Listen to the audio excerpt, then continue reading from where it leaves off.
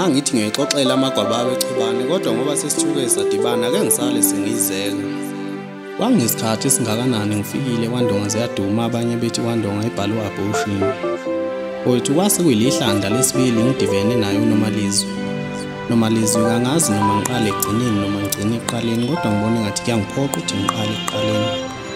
Ngiyaguqa ngamadolo inhliziyo yami ngaphambi kokusuka inhliziyo yakho. Cela ukuba yiliyicilongo elikhala kusukela liphuma lize liyoshona ilanga nasemaphusheni uphinde uqhubeke ube undaba mlonyeni. Ngicela uyongixusela kwabakini ukuba ngicela ukuphungula iplate elilodwa.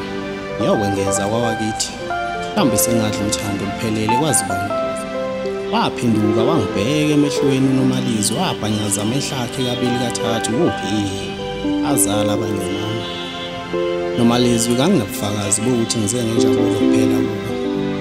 Kodwa ngokwesifiso sami bengafisi ukuthi kube yimina okhipha inyembezi emehlweni akho.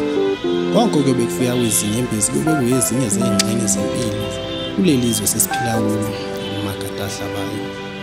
Nomalizwi nginganayo imali yokuthenga iwashi kodwa isikhathi ngeke ngikwazi ukusithenga ngoba sithengeki ngihlushwa yikho ukuthi angimlona igagu mhlawumbe ube ngiyigagu ngobe ngiyabusebenzisa manje. Kodwa alikho igama elikhulu ukudlulela ukuthi ngithi nginothando nawe wangibuza umbuzo wodwa unomalizwi sizwe nabo yini abazali? Ngamchazela lokho kwakuyikho. Nkosazana kangingamuva kangingaphambili noma kufika izimo ey'nzima ngikhala ngiyithulise kuhle kwengane yohlanya. Wangipha amazwi enduduzo nomalizwi sizwe kunezinto engiyishintshe ngoba kunathi sekudalwe wena. Kulelize mina nawe siyafana. Sizithupha zegwayini umama ngezwa bengitshena ngaye. Bethi wangishiya nginenyanga ey'ntathu ubaba kangimazi noma la khona usaphila yini? Ngoba bathi wayehlala efosforus eshayela amakhumbi ayejimistin umqondo wagijima wabuyela emumva ubaba esadla nhlamvana. Madodana ukhona omunye wenu ongowesithathu olamanina ongudadewenu. Igama lakhe elingunomalizwi zaye ngizele emehlweni uma ngicabanga ukuthi lona bese ngithi uyena oyovusa umuzi kababa ungudadewethu.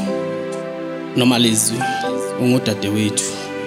Ubaba wayeke wasichazela ngawe sinomfowethu engimelamayo ubaba wayengakangeni ngaphansi kwentunduma yomhlabathi enamatshe awulugedla wasichazela ngawe yize noma sasingazi ukuthi siyophuma esishoniphi sinomfowethu owadukela ngapha kwelasesoweto abanye bamkhomba edeep blue hostel wasuka isokwenhlamvu nomalizwi engibamba zigeleza inyembezi emehlweni. Thula dadewethu. Usulitholile igazi lakho. Ngizoba isiqalo nesiphetho kuwe. Njengomfowenu. Ngisacela ungiphuthando nami ngizokuphuthando ngizokweseka. Ngizowapholisa wonke amanxeba owazwile. Kubo bonke futhi ubuhlungu obhekane nawo kuyintokozo enkulu ukuthi ngithole wena emva kwesikhathi esingaka ubaba esichazelile ngawe. Ngakhala ngabuya nganeno ngoba ngangingakaze ngimbone ngaphambilini umuntu ongudadewethu kwathando lwakhe ngangingakaze ngize ngilibone kusukela ngazalwa. Amehlo akhe ayesephenduka isiphethu senyembezi wangibheka ngawo maqede wathi owethu inenkinga ngalomlayezo engikuthumelele wona angazi noma utholile yini. Ngaphuthuma ngafaka isandla ephoketheni ngabuya nalo ucingo lwami ngathi uma ngiwuvula lo mlayezo wawufundeka kanje. Sizwe nginomuntu engithandana naye. Uhlezi ngibuza ngamanxeba asemzimbeni. Anginayo indlela yokumchazela ngoba ngazi ukuthi ngizoqala ngakuphi.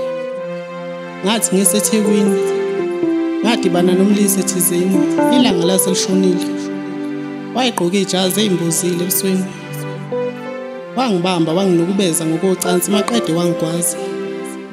Mhlambe yena ngesingaye wangishiye ey'tsheni ukuthi ngifile.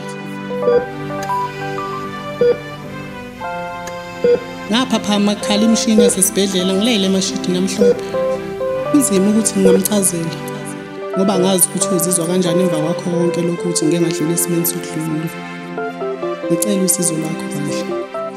Ukuthi mina nawe sithandane angikuboni kuyiselihle igazi lami nelakho alizange lize lisondane kodwa bengicela usizo lwakho. Zayengezela emehlweni kimi ngoba wayekhombisa ngokusobala ukuthi inhliziyo yakhe yamholela kuloya muntu wesilisa. Ngathi ngingakalibuyiseli ucingo lwami lwakhala lukanomalizwi. Walibamba wathi eqeda ukulivala udadewethu ucingo injabulo yayibhalwe emehlweni. Wakhombisa ngokusobala ukuthi yonke into ihamba kahle. Wangicela ukuba ngiyomeseka mase beyobopha ifindo likasofa silahlane ngakusasa.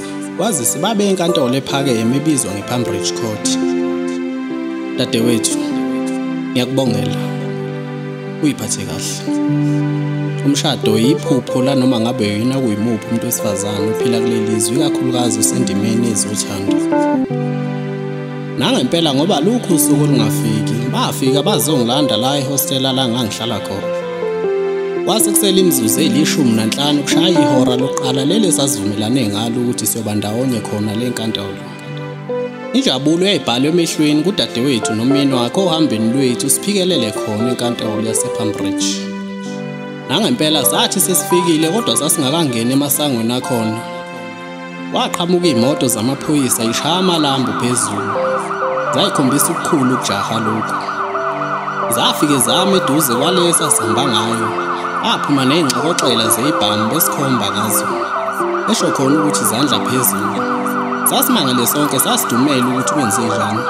Sase silindele ukwazi ukuthi ikuphi inkinga ukuthi sesingaze sibukanise nabantu kanjena asondela amabili amaphoyisa. Wabe sekukhuluma elilodwa lathi